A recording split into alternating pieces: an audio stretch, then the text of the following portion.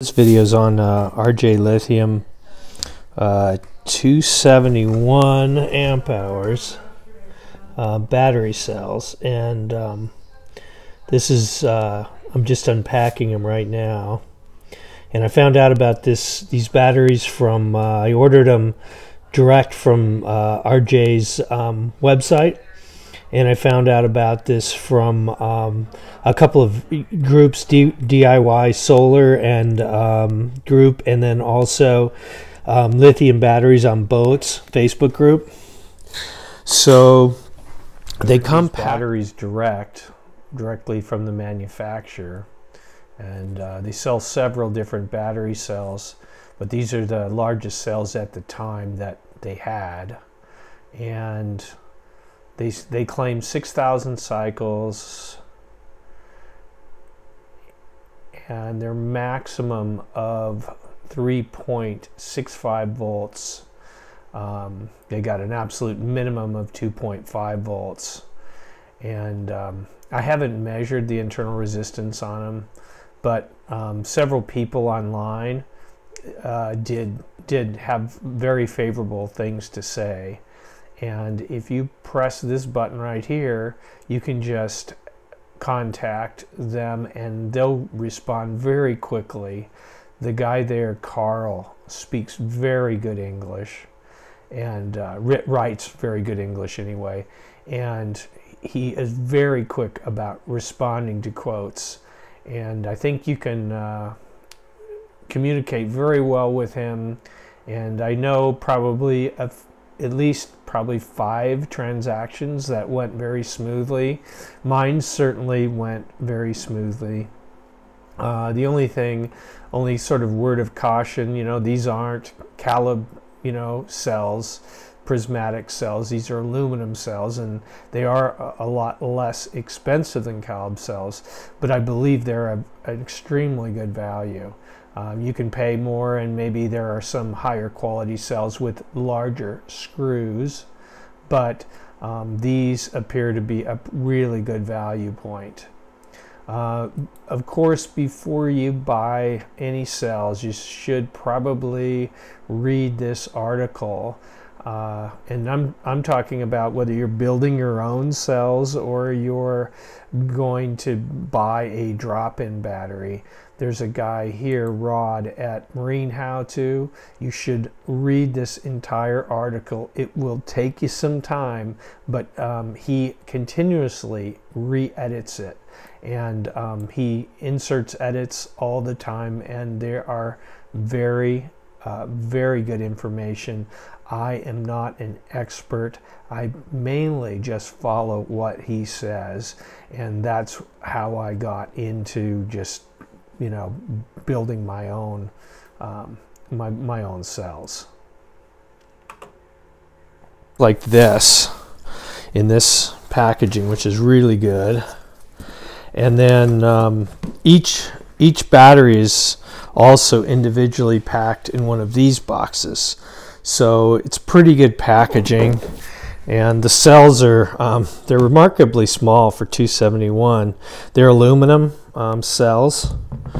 And I'll show you um, you can kind of see the bottom of the cell. Uh, and then uh, that's the uh, marking on the top.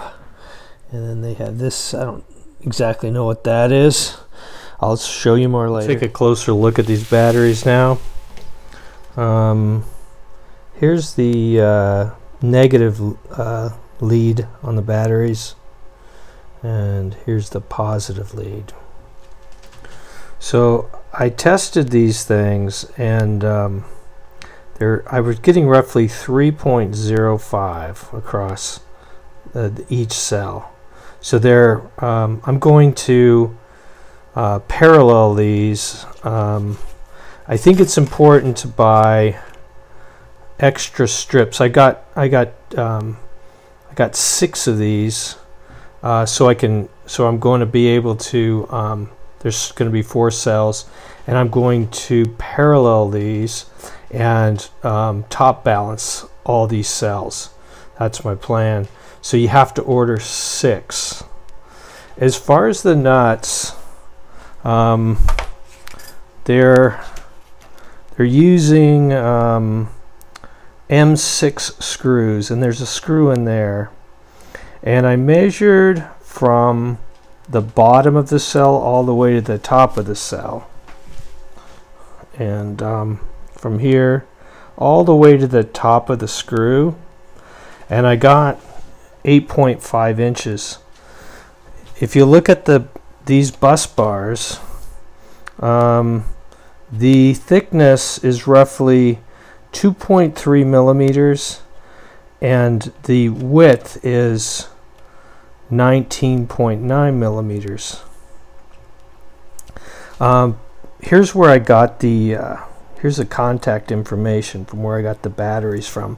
They were um, there's a guy Gary Chafin that bought him a long time ago, and he um, he told me about him on lithium batteries on boats.